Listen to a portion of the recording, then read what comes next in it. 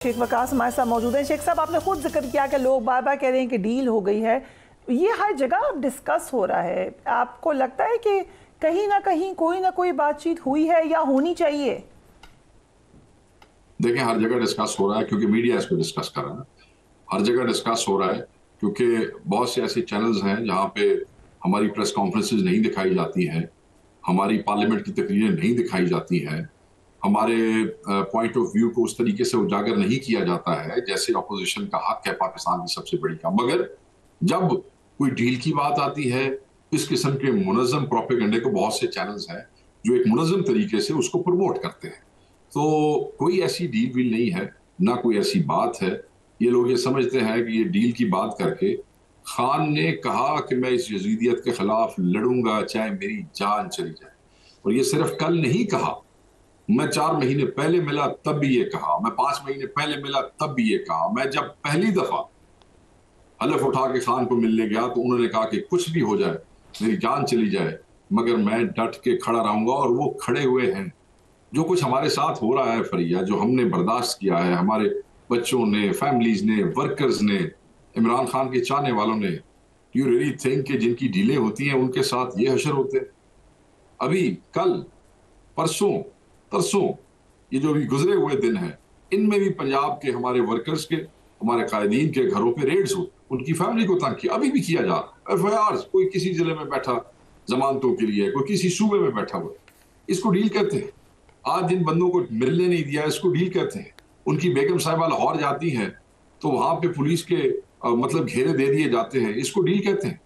मैं नहीं समझता कि ये कोई डील है। अब इनके they are running out of options क्योंकि डंडे से हुकूमत नहीं की जा सकती। आज की सदी में आज के दौर में आप रियासत को डंडे से नहीं चला सकते। आप आवाम को डंडे से नहीं हाँक सकते। You promote hatred right you promote नफरत यू डोंट प्रमोट डिसिप्लिन कि आप कहें सीधे हो जाओ पीटीआई वाले उसी को सीधा कर देंगे बोलो भी ना। ऐसे कैसे हो सकता बशीर साहब ये तो ये तो पीटीआई खुद कह रही है कि नवंबर में आ जाएँगे खान साहब बाहर। जब कोई बातचीत नहीं है कोई डील नहीं है तो कैसे आप ये को लगता है ये हो जाएगा। अब ये तो अब जाती वाली बात है ना। कुछ लोगों ने कुछ हमारे लॉयर्स ने आज से तीन महीने पहले कुछ ने चार महीने पहले कहा कि जी सारे केसेस खत्म हो रहे हैं किसी केस के पल्ले कुछ नहीं है। अभी जनाब इस महीने आ सकते हैं कि दो महीने। तो क्या फिर उस वक्त भी डील थी फिर उससे पहले भी डील थी? लॉयर्स हैं जिनका आप ज़िक्र कर रही हैं और वो ये इसलिए कहते हैं क्योंकि वो सारे केसेस को डील कर रहे हैं।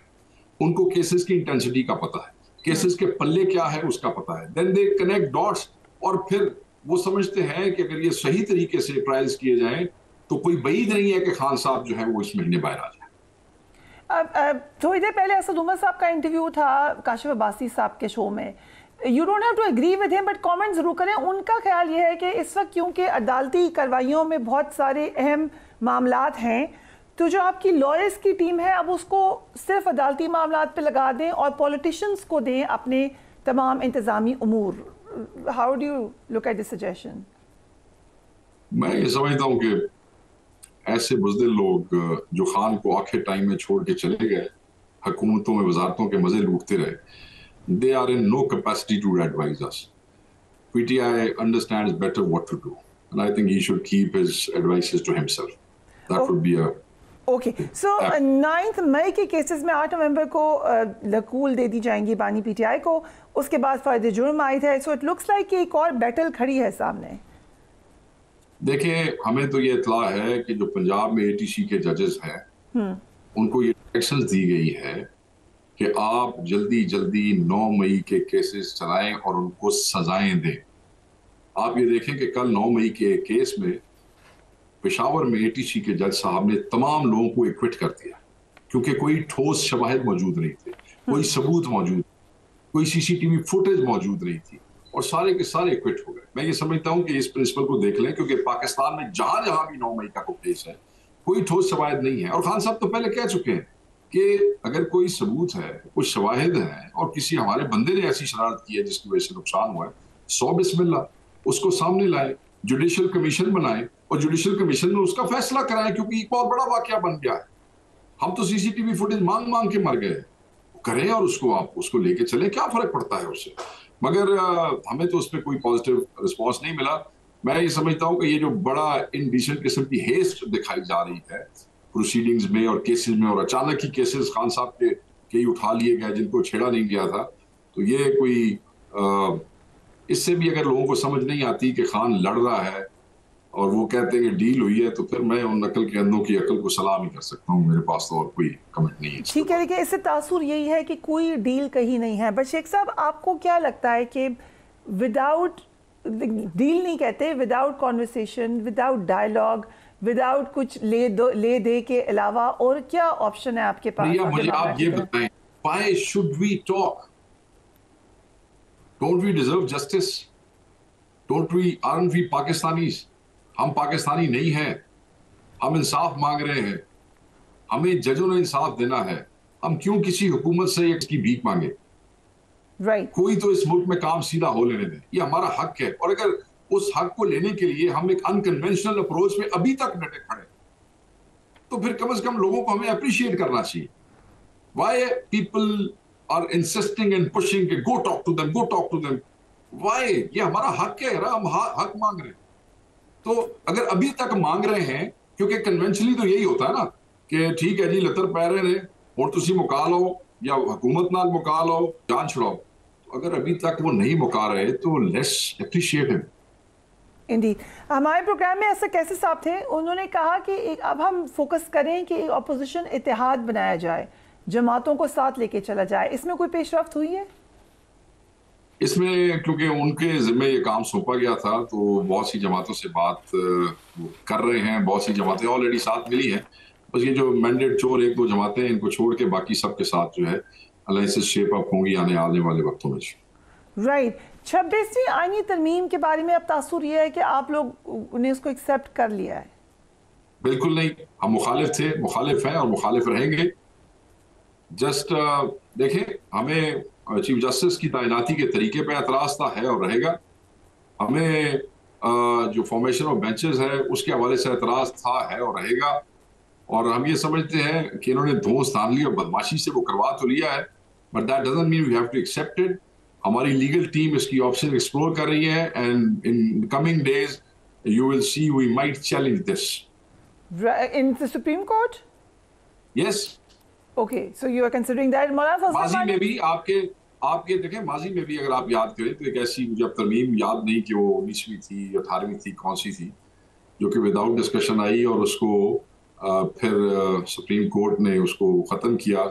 सिर्फ़ ये कह के कि it was not properly discussed MNAs senators public at large को इसके ऊपर डिलिब्रेशन का मौका नहीं दिया गया। तो बहुत से पॉइंट्स हैं we are exploring let's see what happens एक uh, एक बात मैं करना चाहूँगा मुझे याद नहीं आपने सवाल पूछे।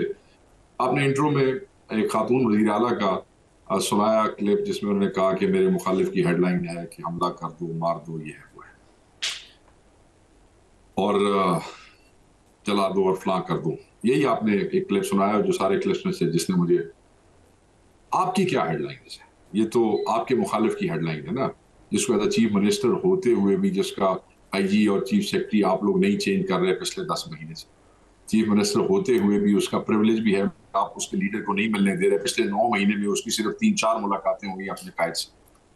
चीफ मिनिस्टर होते हुए भी आप उसके सूबे को एक हॉस्टाइल सूबा समझते हैं और जब वो आ, सारी ज़िंदगी जहाँ पंजाब में वो पड़ा बला आया गया वहाँ आते हुए भी आप उस उसको वो रोकते हैं उसके रास्ते बंद करते हैं। केपी की सरजमीन पे केपी के हाउस में हमला करते हैं। ये वो चीफ मिनिस्टर है। आपकी तरफ़ हेडलाइंस क्या है? आपकी हेडलाइंस ये है कि आज एक एमएलए अनिका भट्टी के वालिद पे फ्रिज चोरी और एलसीडी चोरी का मुकदमा दायर किया गया। फयाज चगड़ एमएनए के बेटे को अगवा करके प्लास से उसकी स्किन खींची? गई सादुल्ला बलोच एमएनए की बीवी और बेटी को अगवा किया गया। शफकत बलोच एमएनए के घर डेरे को तबाह किया गया। जावेद एन ए रहीम यार खान से उनके डेरे को मसमार किया गया। मुबीन जट, हमारे गुजरावाला से एम एन ए उनकी फैक्ट्रियाँ सील करके फैक्ट्रियों में से सामान गायब कर दिया गया। उनके वालिद ने अपने आप पे तेल छिड़क के आग लगाने and headline goes on and this is Punjab this is happening in Punjab so you are trying to basically आप हमें, आप इसको एक्सटर्मिनेट करना चाहती हैं। आप इन अब हर वो आवाज़ जो आपके खिलाफ है, हर वो आवाज़ जो पुरमन एहतजाज के लिए उठती है, हर आवाज़ जो छब्बीसवीं तरमीम के खिलाफ थी, ये हेडलाइंस है आपकी। रादर देन के एक चीफ मिनिस्टर कहे कि मैं मर जाऊँगा और मैं आ रहा हूँ, अगर तुमने मेरे बंदों को नुकसान पहुँचाया, वो इतनी शर्मनाक नहीं है जितनी जमहूरी, एक सो कॉल्ड जमहूरियत के अंदर एक चीफ मिनिस्टर और एक प्राइम मिनिस्टर के होते हुए एक सूबे में ये हेडलाइंस आए, ये शर्मनाक है सारी।